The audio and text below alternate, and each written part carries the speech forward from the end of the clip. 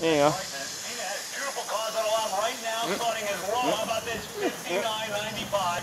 And of course, the legendary Smithtown Nissan service. And speaking of service, Smithtown Nissan is proud to present their new Express concierge service, including valet parking, free snacks and cold drinks, and express oil changes. So go to Smithtown Nissan, tell Peter Benigno sent you. They'll give you concierge service for two years at absolutely no charge. And to all you guys that own a repair or body shop, Fina guarantees the lowest prices on all original manufacturer's parts. So if you're not buying your parts from Fina, you're paying Yeah. too much. Listen to me. Go see Fina first. Don't buy anywhere else but Smithtown Nissan. Middle